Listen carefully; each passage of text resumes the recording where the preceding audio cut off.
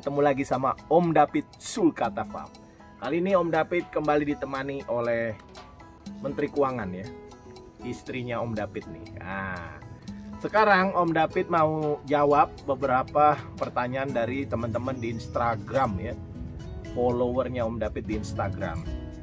Pertanyaannya apa aja? Ini Menteri Keuangan, istrinya Om David udah pegang beberapa pertanyaannya. Kita mulai aja ya, langsung aja.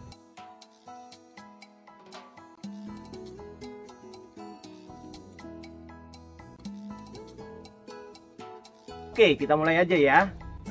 Pertanyaan pertama dari teman di Instagram. Dari siapa? Dari Elkana Ishak. Dari Elkana Ishak, dia nanya, sulcata kulitnya jadi gelap apa karena tanning ya Om?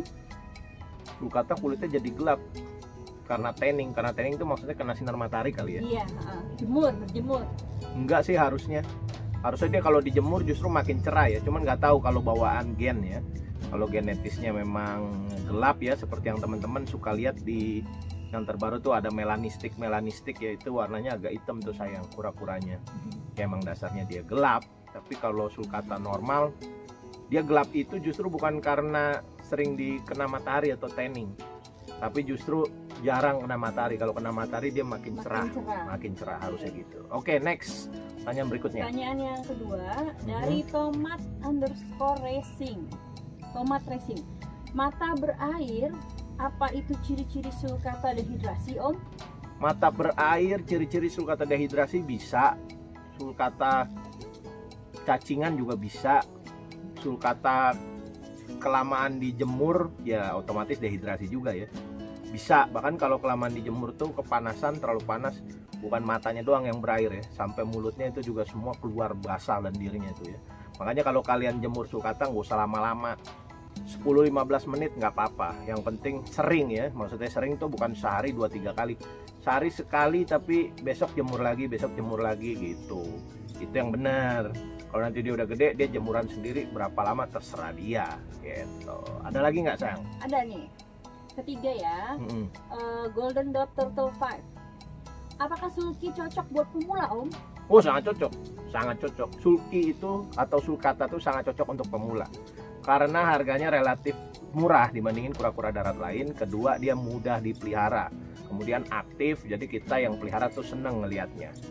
Banyak deh, pokoknya cocok buat pemula. Cocok ya. Mm-mm. Oke, selanjutnya dari kie.88. Cara agar cangkang sulcata dom awalnya ceper. Cara agar cangkang sulcata dom awalnya ceper. Kalau awalnya ceper dia nggak bisa jadi dom, bapak-bapak, ibu-ibu. jadi kalau udah ceper ya ceper aja. Lagian sulcata tuh kalau kalian lihat pas dewasa dia tuh memanjang juga. Beda sama Indian Star, beda sama Radiata, beda apalagi sama Unipora ya yang bisa dom kubah gitu bulat kayak helm gitu kayak bola. Nggak sulcata nggak ada yang kayak gitu. Kalaupun dia gendut, montok, ya mungkin agak bulat aja ya, tapi nggak bisa dom banget, nggak bisa tinggi banget. Pengalaman sih gitu. Berikutnya, Next dari Hariman Project. Om David jual reseller sulcata nggak? Kalau iya, pengiriman luar pulau sudah bisa. Oke. Eh, kadang-kadang jual, kadang-kadang enggak. Kalau lagi banyak banget ya jual ke reseller. Tapi kalau kayak sekarang lagi nggak ada stok ya pada habis semua, ya enggak gitu. Keluar kota dulu bisa ya kirim-kirim resmi, tapi belakangan ini kan kirim-kirim binatang nggak boleh ya, harus pakai surat karantina segala macam, agak sulit ya. Itu sih. Oke. Next ya, soalnya Hmm. ada banyak nih Oh ya deh cepet aja deh kita. Cepet aja. dari Singgih PK. Mm-mm. Kalau sulcata muntah kenapa ya Om David? Cacingan atau kebanyakan makan ya? Sulcata muntah ya. Ah, ah. muntahnya muntah apa dulu nih kalau muntah makanan belum pernah lihat sulcata muntah makanan.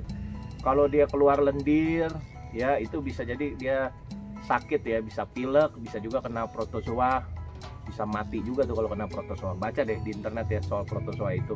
Atau ya biasanya sih kalau dijemur ya dijemur kelamaan itu dia eh, basah semua tuh dari mata keluar air dari mulut dari hidung keluar air kayak overheat ya kayak gitu. Muntahnya belum jelas nih muntah kenapa dulu? Ntar nanya lagi ya berikutnya. Lanjut. Next dari XD Craig. Om, di kandang sulcata bisa nggak hanya dikasih lampu UVA? bisa tapi buat apaan ya? Maksudnya yang penting itu kan sebenarnya UVB ya. Kecuali kamu di daerah uh, yang hawanya dingin atau kamu itu peliharanya di dalam ruangan ber AC jadi UVA itu kan sebenarnya lampu panas lampu panas biasa. Kamu bisa ganti dengan apa aja pakai pakai merek-merek lain nggak apa-apa. Lampu ayam tuh yang lampu pijar tuh nggak apa-apa. Nggak harus uh, merek terkenal atau mahal atau khusus UVA enggak itu lampu panas biasa aja.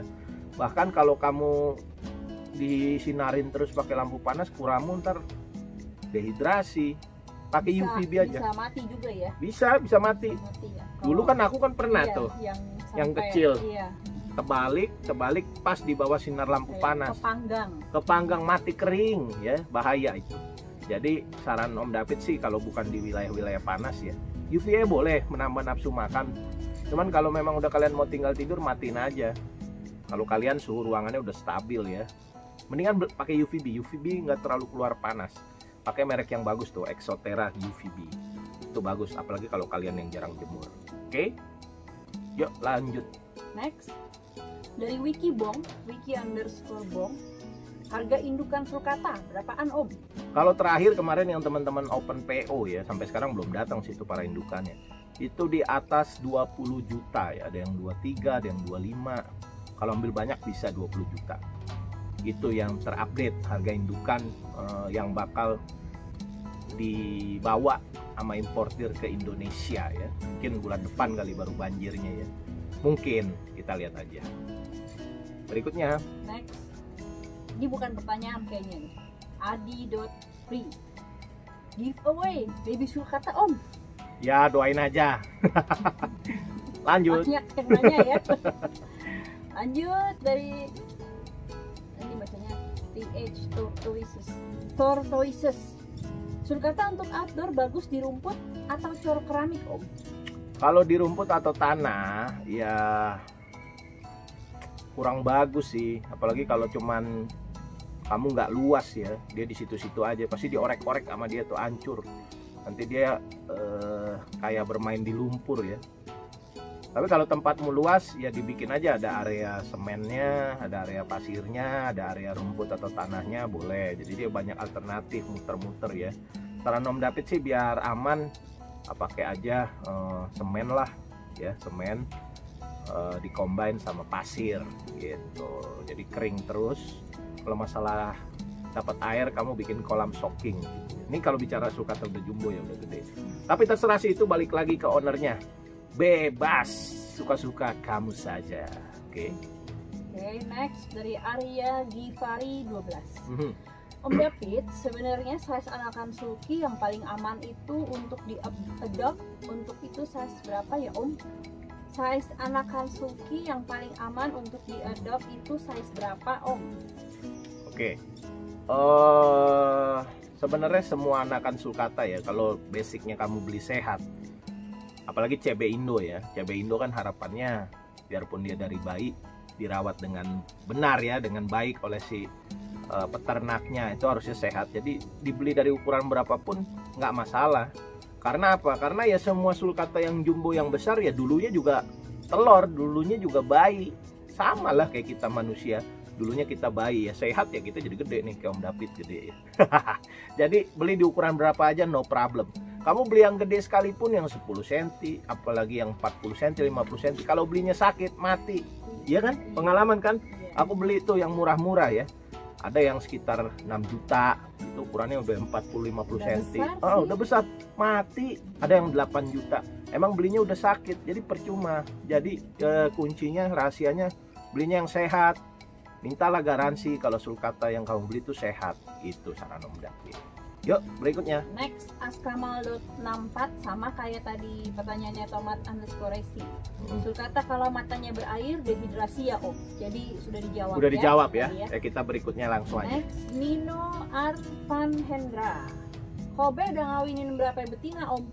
Kobe ya Kobe itu paling sedikit ya. Kobe itu memang badannya besar tapi dia Kobe yang besar banget Yang ya? paling gede. Yang paling gede iya iya. Kobe memang badannya paling besar tapi dia tuh bukan penguasa di farmnya Om David.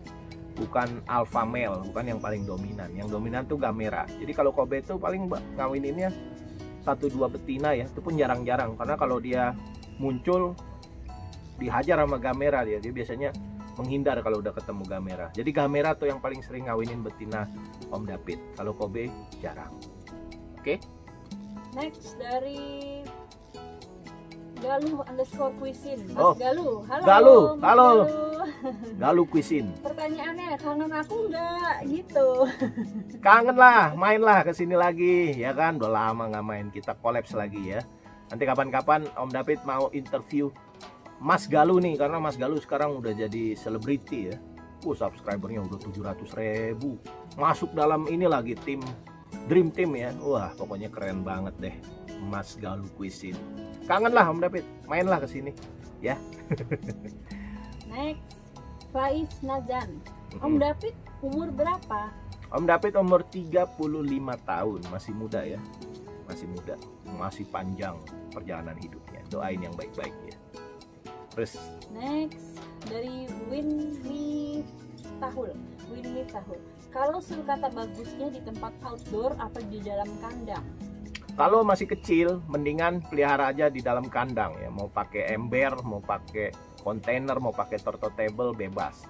Karena banyak predator ya, ada tikus, ada musang, ada manusia yang udah tahu kalau sulcata mahal ntar dicuri. Terus dia juga sama suhu Indonesia, cuaca Indonesia yang kadang panas, kadang dingin, itu bikin kadang suka pilek ya.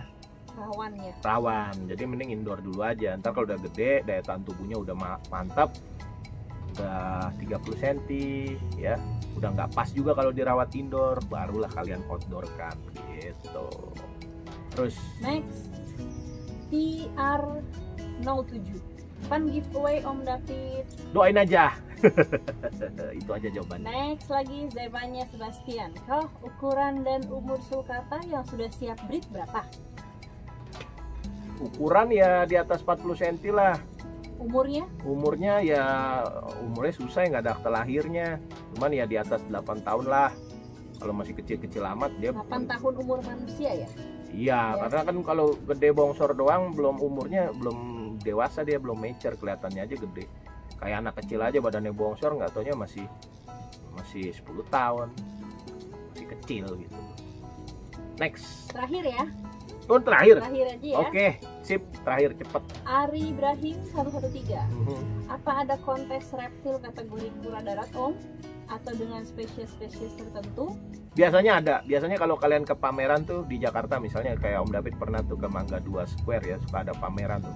Biasanya kalau kura-kura darat dia eh, kontesnya tuh open tortoise ya. Open tortoise tuh kalian bisa masukin eh, kura-kura darat apa aja ya nanti dipilih sama jurinya tuh siapa yang terbagus juara satu, juara dua, juara tiga ya. Biasanya juaranya sampai tiga.